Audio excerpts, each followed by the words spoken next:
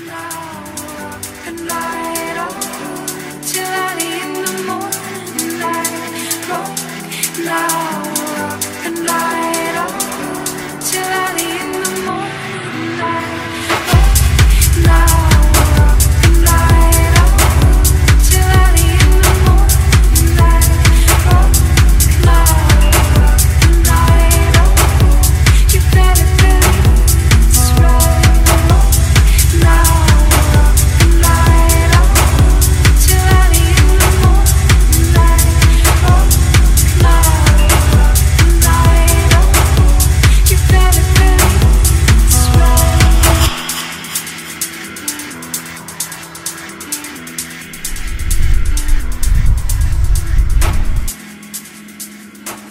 Grüßt euch Leute.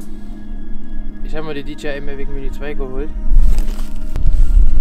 Das ist das geile Teil. Äußerlich betrachtet ist er eigentlich komplett gleich geblieben. Neu dazugekommen ist einfach nur 4K. Das heißt, man kann in 24 bzw. 30 Frames pro Sekunde aufnehmen. 60 Bilder pro Sekunde geht nur in 1080p, wie es davor schon nur ging. Und Neue Akkus sind dazugekommen, keine Lithium-Ionen-Akkus mehr, sondern Lipos, also Lithium-Polymer-Akkus. Das heißt, nach fünf Tagen entladen die sich mal selber, was ich eine super Sache finde. Dann nächster Punkt, die Drohne ist schneller geworden, um genau 7 km/h. Müssten 16,2 Meter pro Sekunde sein, kann mich täuschen, aber es müsste stimmen.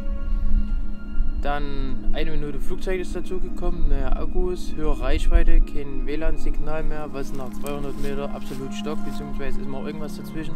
Jetzt hatten wir das Oxing 2.0, wie es eine DJI Mavic schon seit langer Zeit hat. Dadurch kannst du ohne Probleme einen Kilometer weit fliegen. Ja, ich weiß, darf man nicht, praktisch macht es trotzdem jeder.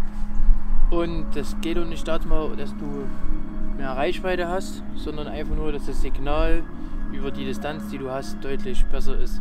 Weil das WLAN-Signal, man hat ein Haus dazwischen schon Störung. Also von daher nicht so cool. Ja, der Punkt äußerlich kam hier vorne nur eine LED noch dazu. Sieht cool aus.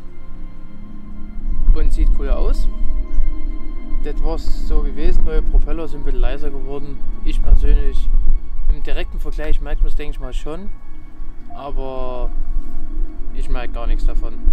Dann, ich habe mir die Flymore Combo geholt mit drei Akkus, weil ein Akku finde ich absolut sinnlos. Was nochmal auf alle Fälle neu ist, ist die Fernbedienung. Ähm, ich habe schon öfters gelesen in Foren, der Pluspunkt für Mini mit kleiner Fernbedienung ist für die meisten jetzt rausgefallen. Finde ich komplett egal. Ich persönlich finde die Fernbedienung absolut geil, super hochwertig liegt deutlich besser in der Hand. Das System zum Rausklacken, um damit sein Handy reinzutun, ist deutlich besser nochmal. Man muss halt nur aufpassen wegen Tastendrücken. Das Kabel, was man halt permanent braucht, sein USB Typ C oder Lightning, ist permanent mit drin. Akkulaufzeit ist nochmal deutlich besser geworden von der Drohne. Die hält jetzt ungefähr fünf komplette Akkuladungen aus, die Batterie. Sprich, ewig lang.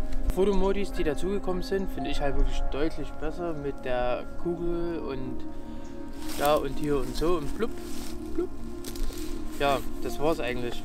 Wie gesagt, Preise sind eigentlich ziemlich gleich geblieben. Total cool. Kurzes Fazit nochmal zur Drohne. Für Einsteiger absolut super zu empfehlen. Geiles Teil. Für das Geld kann alles, schafft alles und theoretisch kann man damit eine Mavic 2 Pro bzw. Zoom ablösen, weil die ist noch kleiner, handlicher und ich wüsste außer der Geschwindigkeit keinen einzigen Grund, warum ich mir eine Mavic 2 Pro kaufen sollte.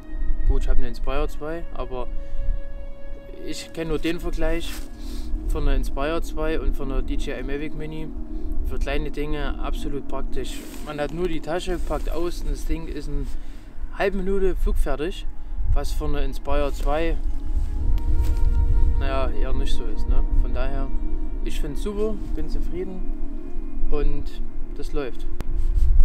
Tschüss.